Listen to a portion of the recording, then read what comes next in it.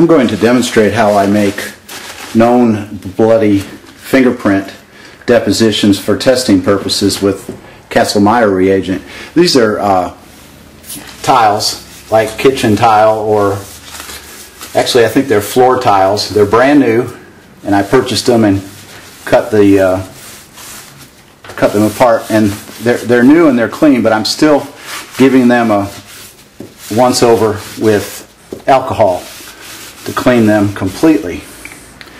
Then the next thing that I'm going to do is get my blood sample, which is uh, human blood that I just had drawn, and this blood is only about two hours old or less than two hours. And I will use the blood and a blotter. Let me position these here.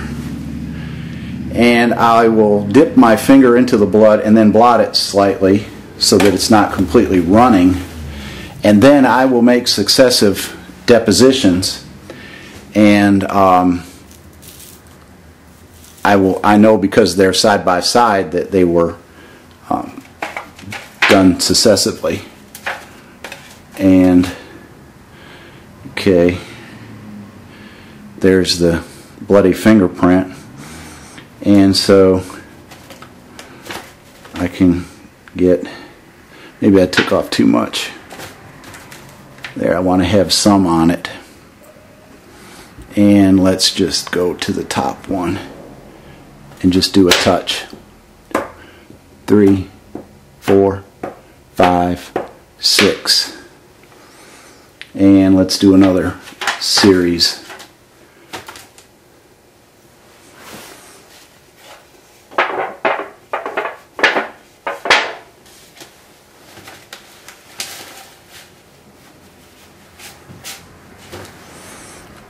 One, two, three, four, five, six. And I can do one more. So I'll have three samples of successive blood prints. And now I'm on the bottom row.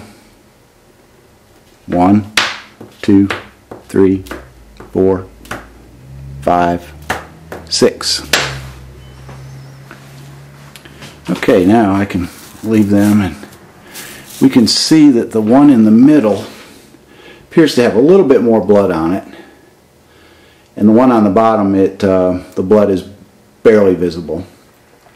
But I'll, I'll, be able to have these now for control samples. I know that they're blood and that they are uh, deposited successively I'm now going to sample the sixth deposition of the fingerprint and uh, this is five and this is number six. So what I will do of course is get my q-tip and I have applied the alcohol and I'm going to go right through the middle where I know the stain is and I'm going to uh, I'm going to take a complete swabbing and destroy the area. In other words, I am collecting the entire deposition and this would destroy it if I wanted it for any other reason. But this will give me an idea of what the sixth deposition, how it will respond to phenolphthalein to prepare me for my um, other tests that I do. So I'm going to zoom back and show the test, I'm going to apply the phenolphthalein and wait just for a second. And now I'm going to apply the hydrogen peroxide. And I can see a positive reaction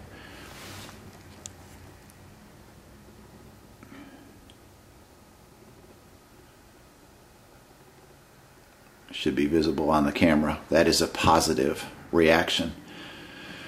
So that means that in the six step process where I made the finger deposition one, two, three, four, five, six, even in number six, I got a clear positive indication for blood.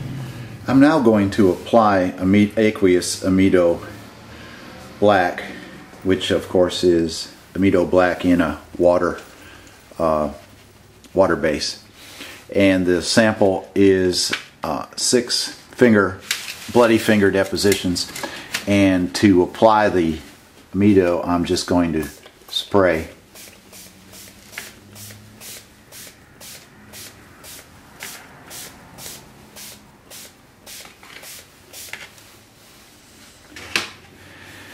and let it run down.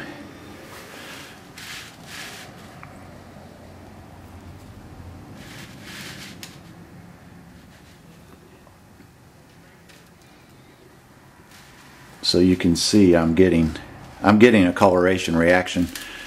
This is all the way from left to right.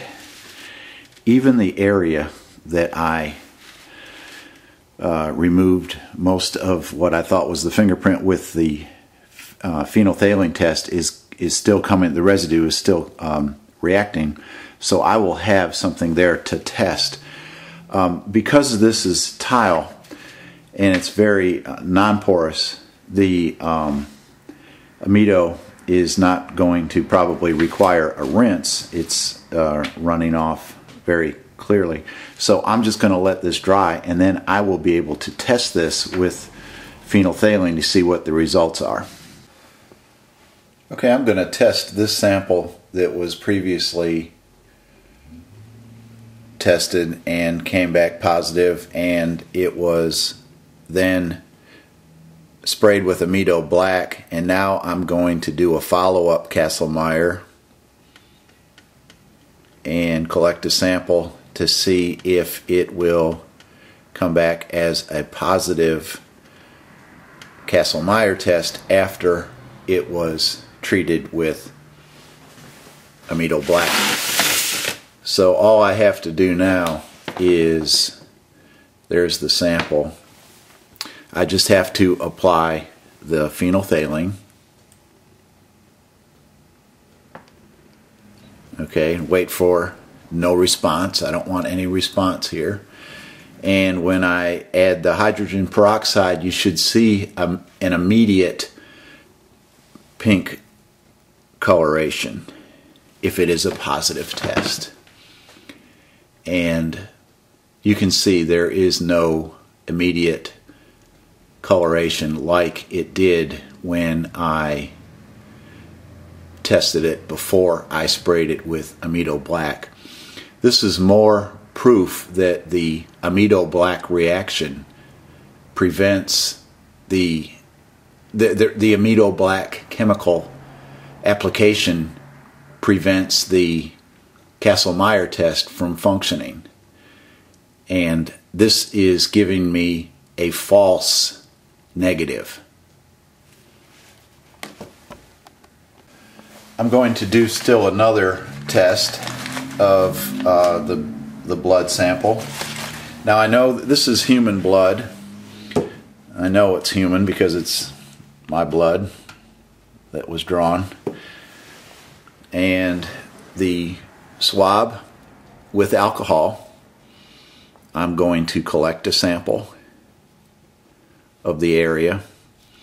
And in this collection process, it's very apparent that the blue is being transferred onto the Q-tip and it gives the appearance that there is a very good sampling present. The next phase will be adding one drop of phenolphthalein. That is exactly one drop. And just wait for a, any, any color change, which is not supposed to happen, of course. And now I'm going to add the hydrogen peroxide and look for the immediate pink coloration.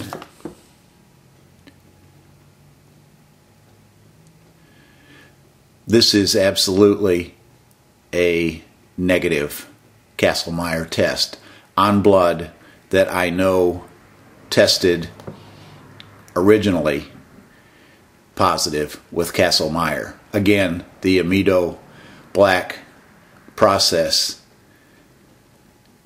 and the subsequent the Kastle-Meyer test was negative after the amido black process.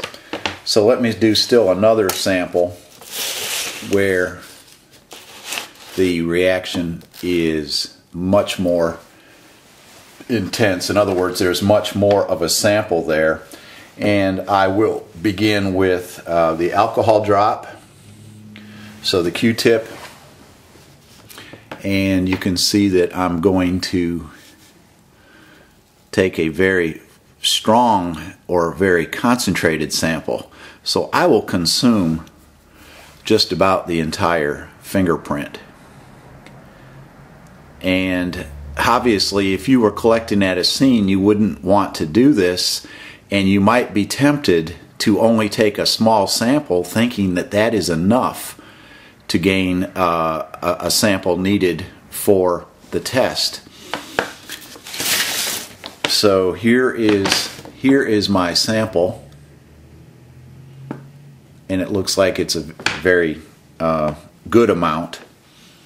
I will add the phenolphthalein.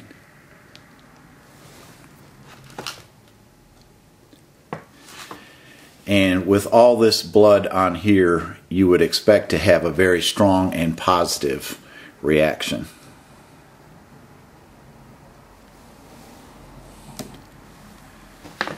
And there is no reaction.